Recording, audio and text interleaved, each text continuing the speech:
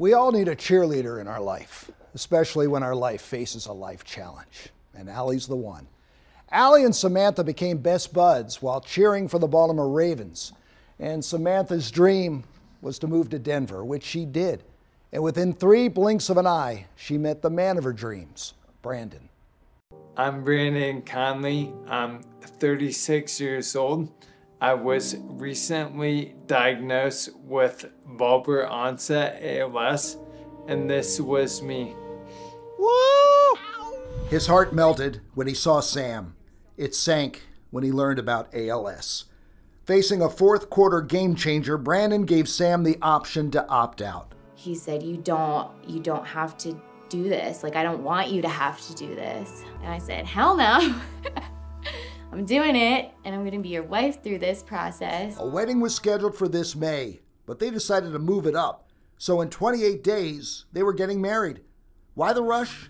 Brandon wanted to make sure he could say his vows. I have thousands of reasons to fight this battle, and the most important one is you.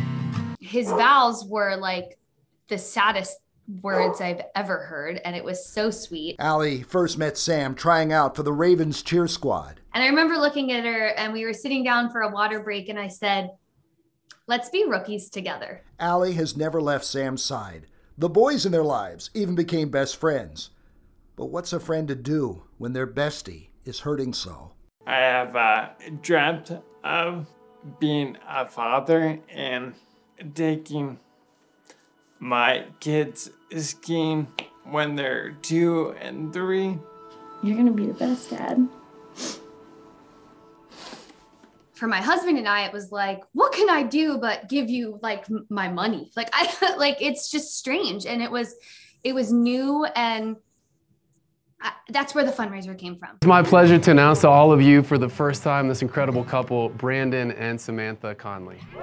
Even when the dark clouds move in, a cheerleader can rah rah sadness away.